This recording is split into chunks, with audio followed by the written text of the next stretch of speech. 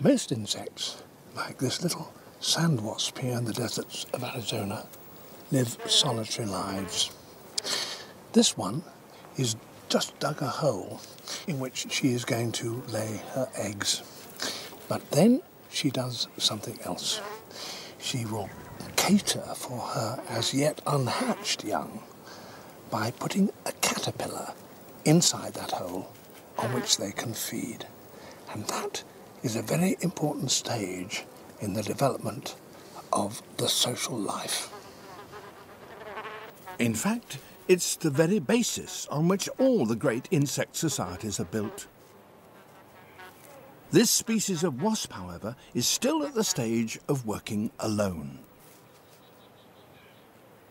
After stocking each nest with a caterpillar, she blocks the entrance to deter thieves. Her burrow may be several centimetres deep.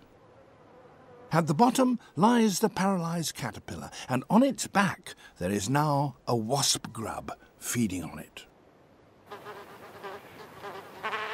The female wasp makes several of these nests a few feet apart and stocks each of them with living food for her young. Can there be a more hard-working mother? Despite all her attempts at parental care, the vast majority of her young will not survive. She's too busy hunting for more caterpillars to be able to guard all her nest sites.